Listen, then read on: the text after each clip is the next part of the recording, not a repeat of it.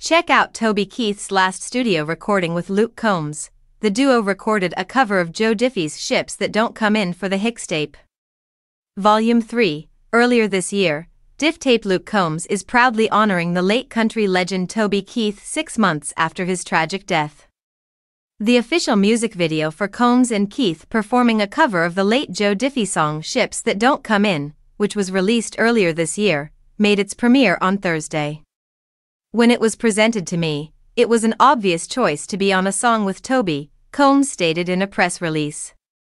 I always wanted to do that, but I never knew if it would really happen. Regarding Keith's participation on Ships That Don't Come In, was Combs's last studio appearance prior to his passing in February. Combs stated on Thursday that, because Diffie awarded him his Opry Member Award years earlier, getting to know Keith before he passed away and performing a song by the late Diffie made things even better for him. Diffie passed away in 2020.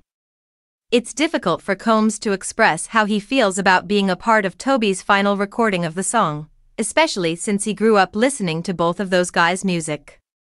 They are sorely missed in country music, but hopefully we're doing them justice by carrying on what they started.